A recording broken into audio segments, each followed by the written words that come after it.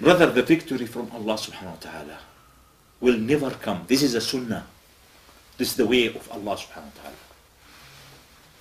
When the prophets come, any prophet has come, it's come to his people.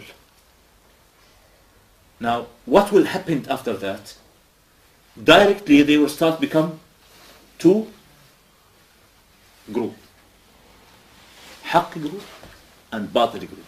The people they believe in Haqq and the people they are against the Haqq. That means two. And they have to separate from each other. When there is mixing, the victories Allah, uh, of Allah subhanahu wa ta'ala will not come. And Allah subhanahu wa ta'ala mentioned in the Quran, ما كان الله ليذر المؤمنين على ما أنتم عليه حتى يميز الخبيث من الطيب.